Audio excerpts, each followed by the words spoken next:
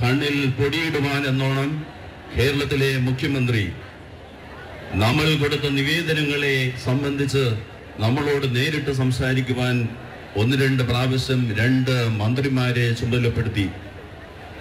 രേഖാമൂലം വ്യക്തമായ രീതിയിൽ ഓരോ കാര്യങ്ങളും എണ്ണി എണ്ണി പറഞ്ഞ് നമ്മൾ നൽകിയ നിവേദനങ്ങളോട് ഒരു ശതമാനം പോലും ആത്മാർത്ഥത പുലർത്താതെ മുടന്തൻ ന്യായങ്ങളും വിശദീകരണങ്ങളും നൽകുന്ന ഒരു സമീപനമാണ് ഇന്നുവരെ സ്വീകരിച്ചിട്ടുള്ളത്.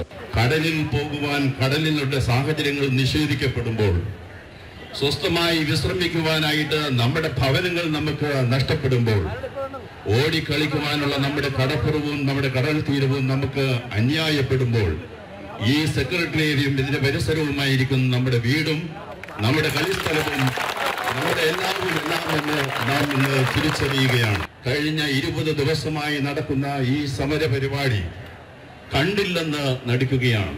കാണാത്തതല്ല കണ്ടില്ലെന്ന് നടിക്കുകയാണ്. നമ്മൾ ഇങ്ങനെ കേട്ടിട്ടുണ്ട് ഉറങ്ങുന്നവനെ ഉണർത്താം. എന്നാൽ ഉറക്കം നടിക്കുന്നവനെ ഒരിക്കലും ഉണർത്തുവാൻ കഴിയില്ല.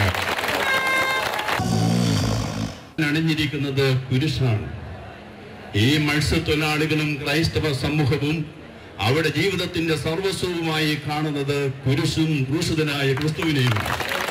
നമുക്കറിയാം മുപ്പത്തിമൂന്നാമത്തെ വയസ്സിലാണ് ക്രിസ്തു മരിച്ചത്.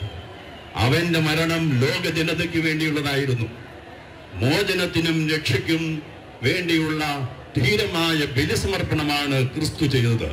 ആ ക്രിസ്തുവിൽ വിശ്വസിച്ച് ജീവിതത്തിൽ ഇന്ന് സുവിശേഷം ജീവിച്ചുകൊണ്ട് ന്യായമായ ജീവിത സാഹചര്യങ്ങൾക്ക് വേണ്ടി പരുതും പൊരുതുമ്പോൾ നമുക്ക് നഷ്ടപ്പെടുവാനായിട്ടൊന്നുമില്ല ധീരമായ രീതിയിലുള്ള ഈ സമര പോരാട്ടത്തിൽ ക്രിസ്തുവിനെ പോലെ മത്സ്യത്തൊഴിലാളി സമൂഹത്തിനു വേണ്ടി തിരുവനന്തപുരം അതിരൂപതയിലെ തീരദേശ ജനതയ്ക്ക് വേണ്ടി ഞാൻ എന്റെ ജീവൻ സമർപ്പിക്കുവാൻ സാധിക്കുന്നു. തീരദേശ ജനത നമ്മുടെ രൂപതയിലുള്ള ഭൂരിപക്ഷം പേരും കടലോര ഗ്രാമങ്ങളിലാണ്.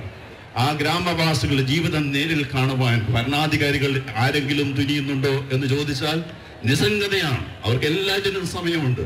വരാത്തതെന്തേ? നമ്മുടെ തീരങ്ങളിലൂടെ ഏതെങ്കിലും സർക്കാർ ഉദ്യോഗസ്ഥനോ ഭരണാധികാരിയോ നമ്മോടൊപ്പം വന്ന് നമ്മുടെ കുടിലുകളും നമ്മുടെ ജീവിത രീതികളും നമ്മുടെ മത്സ്യബന്ധന ഉപാധികളും തടസ്സപ്പെട്ടു നിൽക്കുന്ന നമ്മുടെ തീരത്ത് മുറ്റമില്ലാത്ത അല്ലെങ്കിൽ കടപ്പുറം നഷ്ടപ്പെട്ട ആ സാഹചര്യങ്ങളൊക്കെ മനസ്സിലാക്കുവാനായിട്ട് അവർ കഴിയുന്നില്ല.